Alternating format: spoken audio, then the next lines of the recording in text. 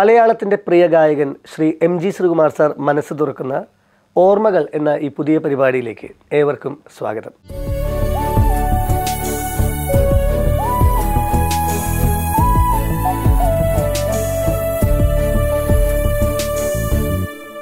Sir ഓർമ്മകൾ എന്ന വാക്ക് ഏറ്റവും അർത്ഥവും ആഴമുള്ള ഒന്നാണ്. സാറിന്റെ എത്രയോ ഹിറ്റ് പാട്ടുകളിൽ ഉണ്ട് ഓർമ്മകൾ എന്നൊരു പദം.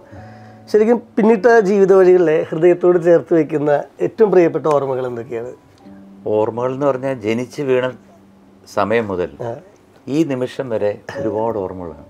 എല്ലാ മനുഷ്യർക്കും ഓർമ്മകൾ. ചില ഓർമ്മകൾ നമ്മളെ ഒരിക്കലും വിട്ടുമാറില്ല. കാരണം ഒരു കാര്യം പറഞ്ഞാൽ ഇപ്പോൾ ഓണക്കാലമല്ലേ? ഈ ഓണക്കാലം എന്ന് പറയുന്നത് എനിക്ക് ഒരിക്കലും മറക്കാൻ പറ്റത്തില്ല. എന്നെ ഞാനാക്കിയത് ഒരു ഓണക്കാലമാണ്. എന്നെ സിനിമയിലോട്ട് ശക്തമായിട്ട് കൈപിടിച്ച് കൊണ്ടുവന്നത് എറണാകുളത്തുള്ള ഡെന്നീസ് ജോസഫ് രഞ്ജിനി കാസസിലെ ഉസ്മാൻ. അങ്ങനെ ഒരു ഗ്രൂപ്പ് ഉണ്ടായിരുന്നു ജോഷിയേട്ടന് തമ്പി കണ്ടെന്നാനും സിബി മലയിൽ. അവരൊക്കെ എന്നെ സിനിമയിലോട്ട് കൊണ്ടുവരാൻ കാരണം ഒരൊറ്റ ഓണപ്പാട്ടാണ്. ഒരു ഓണപ്പാട്ടിന്റെ കാസറ്റ് അല്ലേ? കാസറ്റ്. അതിപ്പോൾ ഇവിടെ ഈ കാസറ്റ് കിടക്കുന്ന കണ്ടു കഴിഞ്ഞാൽ അറിയാമല്ലോ എനിക്ക് സത്യം പറഞ്ഞു കഴിഞ്ഞാൽ ഹരിയോട് ഒരുപാട് നന്ദിയുണ്ട്. കാരണം വെച്ച് കഴിഞ്ഞാൽ ജീവിതത്തിൽ ഒരു മനുഷ്യനും കളക്ട് ചെയ്യാൻ പറ്റാത്ത രീതിയിലുള്ള കാസറ്റ്സും സി ഡീസും അത് എന്റേത്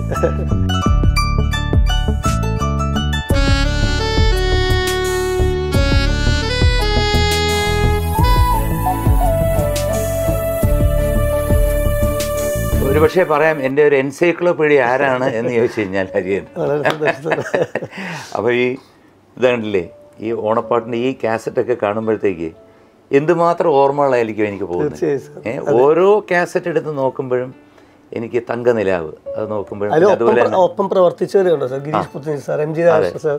ആ, സുജാത മോഹൻ. അപ്പോൾ അങ്ങനെ അത് പിന്നീട് ഞാൻ ആദ്യം ഞാൻ പറഞ്ഞത് ഊഞ്ഞാൽ എന്നുള്ളൊരു കാസറ്റാണ്. അത് ആയിരത്തി തൊള്ളായിരത്തി എൺപത്തി ഏഴിലായിരുന്നു അപ്പോൾ അന്ന് അന്നത്തെ ഓണക്കാലത്ത് തരങ്ങിണി പാട്ടിറക്കും ഓണപ്പാട്ടിറക്കും രഞ്ജിനി ഇറക്കും പിന്നെ നിസരി ഇറക്കും അങ്ങനെ കുറച്ച് കമ്പനികളെ ഉള്ളൂ. ഈ സി കാസറ്റ് കമ്പനികൾ അപ്പോൾ ഇവരെല്ലാവരും ഭയങ്കര കോമ്പറ്റീഷനാണ് ഇപ്പോൾ ഈ ഓണപ്പാട്ടെന്ന് പറയുന്ന ഒരിക്കലും ഒരു സി ഇപ്പോൾ സി ഡി കടകൾ പോലും ബേക്കറി ആയി കഴിഞ്ഞു. അതുകൊണ്ട് അതിനകത്ത് ഇനി അത് ഓർമ്മയായി. അതൊരു ഓർമ്മയായി. അപ്പം അന്ന് ഈ എന്നെ പാടാൻ വേണ്ടി ഒരു പാട്ട് പാടാം.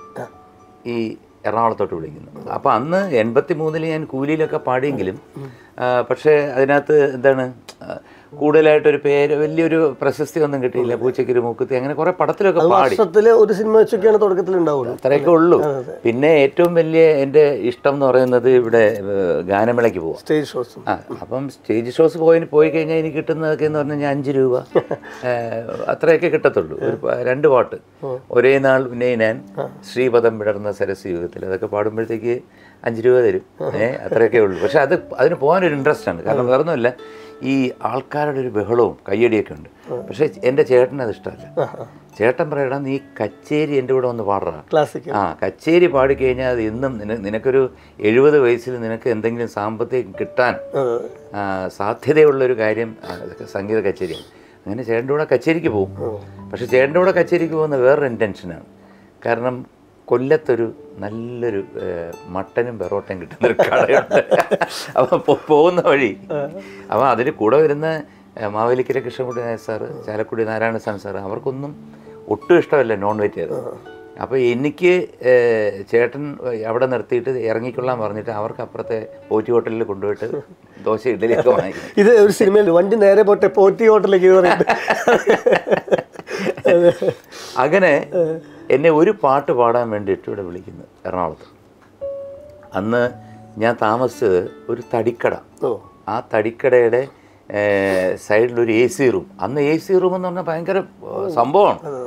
ആ എ സി റൂമിന് ഡെന്നി ജോസഫാണ് അവിടെ താമസിക്കുന്നത്.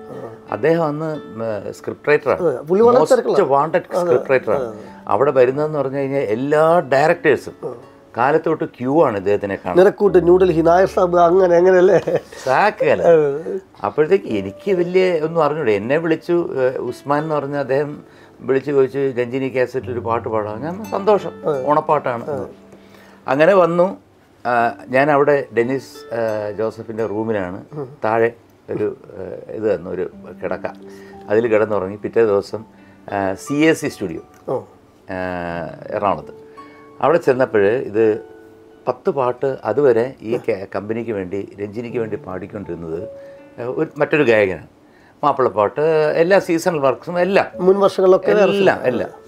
അപ്പോൾ ഇതിനകത്ത് ഒരു പാട്ട് എം ജി ശ്രീകുമാറിന് കൊടുക്കണമെന്ന് ആര് പറഞ്ഞെന്ന് അറിഞ്ഞൂടെ ചിലപ്പം മൂകാംബിക ദേവിയുടെ ഒരു ശക്തി കൊണ്ട് ആരെങ്കിലും പറഞ്ഞതായിരിക്കും. അല്ലെങ്കിൽ ഏതെങ്കിലും ഒരു ദൈവത്തിന്റെ ശക്തി കൊണ്ട്. അപ്പോൾ അവിടെ ഭയങ്കര വഴക്ക് നടക്കുന്നു. അത് പറ്റില്ല അങ്ങനെയാണ് ഇങ്ങനെയാണ് അത് ഇദ്ദേഹം പത്ത് പാട്ട് പാടാൻ എഗ്രി ചെയ്തിട്ടുണ്ടെങ്കിൽ അദ്ദേഹമേ പാടത്തുള്ളൂ. എ- ജി ശ്രീകുമാർ ആരാണ്? ആർക്കറിയാം? എന്തറിയാം? എന്നൊക്കെ ചോദിച്ചിട്ട് ഭയങ്കര തർക്കം. അങ്ങനെ അന്ന് റെക്കോർഡിങ് നടന്നില്ല. രാത്രിയിൽ ഇവരിരുന്നൊരു തീരുമാനം എടുക്കുന്നു. നമുക്ക് എം ജി ശ്രീകുമാറിന് തന്നെ പത്ത് പാട്ട് കൊടുക്കാം.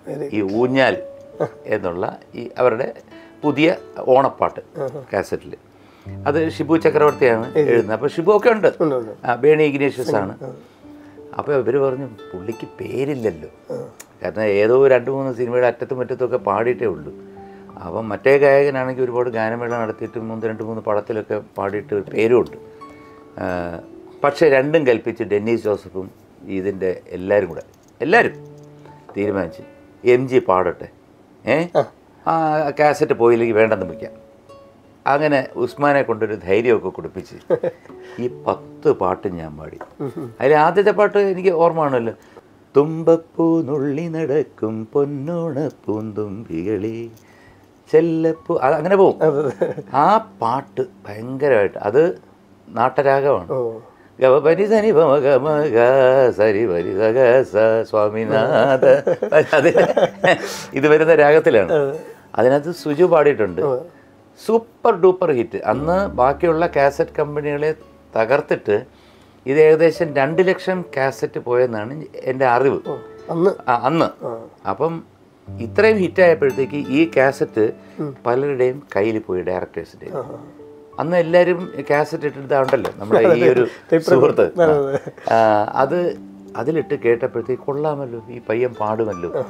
അങ്ങനെയാണ് എനിക്ക് സിനിമയിൽ അതെ അതെ മദ്രാസിൽ പോയി പാടാൻ കൂടുതൽ ചാൻസ് കിട്ടിയത് ഈ ഒരു ഓണക്കാലത്താണ് മറക്കാൻ പറ്റും. അതിന്റെ കരിയറിന്റെ തുടക്കത്തിൽ സിനിമകളിൽ കുറേശ്ശെ പാടി തുടങ്ങിയപ്പോൾ ഒരു ബ്രേക്ക് വന്നത് ഈ കാസറ്റിലൂടെയാണ്. എക്സാക്ട്ലി പിന്നീട് ഇപ്പോൾ നമ്മൾ ഓണക്കാലത്ത് തന്നെ സംസാരിക്കുമ്പോൾ വേറെയും കുറേ ആൽബങ്ങൾ പിന്നീട് വിജയകരമായിട്ട് ഇറങ്ങിയിട്ടുണ്ട്. ഒരുപാട്. അതിപ്പോൾ തേന്മാവിൻ കൊമ്പത്തിലെ പാട്ടുകൾ കറുത്ത പെണ്ണെ ഓണമില്ല എന്നൊരു ഓഡിയോ കാസറ്റിൽ അത് അതിന്റെ ഒരു സംഭവം എന്ന് വെച്ച് കഴിഞ്ഞാൽ അതും എനിക്ക് കിട്ടിയ ഒരു ഹിറ്റാണ് ഇപ്പോഴും എവർഗ്രീൻ ആയിട്ട് നിൽക്കുന്ന ഒരു സോങ്ങാണ് അത്. ആക്ച്വലി എന്റെ ചേട്ടൻ സംഗീത സംവിധാനം ചെയ്യാനിരുന്ന ചിത്രമാണ്. ഈ തേന്മാവിൻ അപ്പം നമ്മുടെ ബി ടി എച്ചിൽ എല്ലാവരും റെഡി ആയിട്ടിരുന്നപ്പോഴത്തേക്ക് ബിച്ചു ഏട്ടനും ചേട്ടനും കൂടെ മറ്റൊരു ഫിലിമിന് വേണ്ടിയിട്ട് ആലുവ റെസ്റ്റ് ഹൗസിൽ അവിടെ പോയിരിക്കുക അപ്പോൾ പ്രിയൻ രണ്ട് ദിവസമായി മൂന്ന് ദിവസമായി ഇവരെ കാണാനില്ല.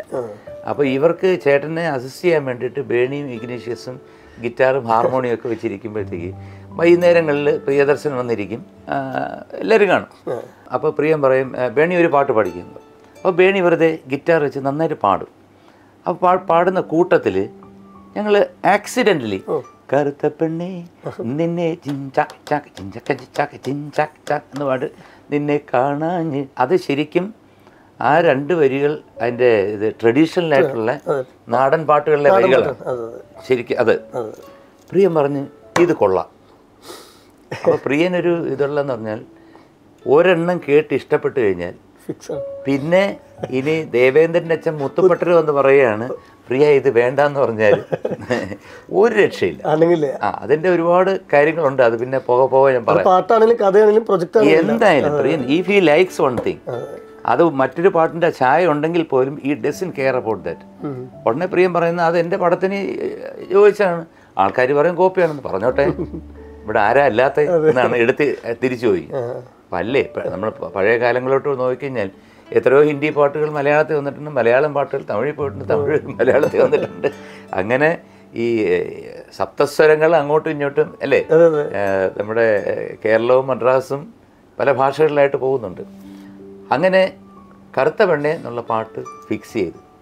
അപ്പോൾ ചേട്ടനെ വിളിച്ച് പറഞ്ഞു വരണ്ട. ഇവിടെ മ്യൂസിക് ഡയറക്ടറായി ഇതിന്റെ ബാക്കി ആരെഴുതും കറക്റ്റ് സമയത്ത് നമ്മുടെ ഗിരീഷ് പുത്തഞ്ചേരി അവിടെ കണ്ട് അവിടെ അവതരിച്ചു. അവിടെ അവതരിച്ചു. അവതരിച്ച് ഗിരീഷ് പുത്തഞ്ചേരി എടുത്ത് ചോദിച്ചു എടാ നിനക്ക് ബാക്കി ഇതിന്റെ ഇത് എഴുതാമോ? ഇതിന്റെ സിറ്റുവേഷൻ ഇതാണെന്ന് പറഞ്ഞു. ഗിരീഷ് പുത്തഞ്ചേരി അപ്പോഴത്തേക്ക് ഒരുപാട് പാട്ടുകൾ എഴുതി കഴിഞ്ഞു ഗിരീഷ് പുത്തഞ്ചേരി പത്ത് മിനിറ്റ് കൊണ്ട് ഗിരീഷ് ഈ പാട്ട് എഴുതി കൊടുത്തു. ഇതിന് ബാക്കി മ്യൂസിക് വിട്ടു ചേട്ടനെ വിളിച്ച് പറഞ്ഞു ഇങ്ങോട്ട് വരണ്ട വീട്ടിൽ പൊക്കൊള്ളാൻ പറഞ്ഞു. അങ്ങനെ അതും ഒരു ഓണപ്പാട്ടിൽ നിന്നാണ് എനിക്കൊരു ഒരു മെഗാ ഹിറ്റ് സോങ് കിട്ടി. ആട് പൊന്മയിലേ മനസ്സിന്റെ താഴ്വരയിൽ. എന്റെ ചേട്ടന്റെ ആത്മാവിന്റെ മുമ്പിൽ പ്രണാമം. ചിങ്ങപ്പൂ എന്നൊരു ആൽബം അതിൽ Mammootty sir Mohanlal sir Manju Warrier Cochin Haneefa double camera വെച്ചിട്ട് ഷൂട്ട് പണ്ടിട്ടിരിക്കുന്ന ഉങ്ങളെ ഉങ്ങൾ ഒരു ഒരു സ്ഥലം എടുത്തെന്ന് പറഞ്ഞാൽ അവിടെ നാല് ക്യാമറ വെക്കാൻ പാടില്ലെന്ന്. ഓ പറയില്ല സാർ എന്ന് പറഞ്ഞു. പുൽക്കുടം കയ്യിലെട് പാടുവാൻ വീണയെട് നരസിംഹത്തിലെ അവസാനം ആ പാട്ടിന്റെ മഞ്ഞിൻ മുത്തെടുത്ത് മഞ്ഞിൻ മുത്തെടുത്ത് കമ്മലിട്ട്. അപ്പൊ എന്തായാലും ഈ ഓണക്കാലമായിട്ട് നമ്മുടെ പുതിയൊരു സംരംഭം ഓർമ്മകൾ നമ്മൾ തുടങ്ങുകയാണ്. എല്ലാവർക്കും ലോകമെമ്പാടുമുള്ള എല്ലാ മലയാളികൾക്കും എന്റെ ഹൃദയം നിറഞ്ഞ ഓണാശംസകൾ.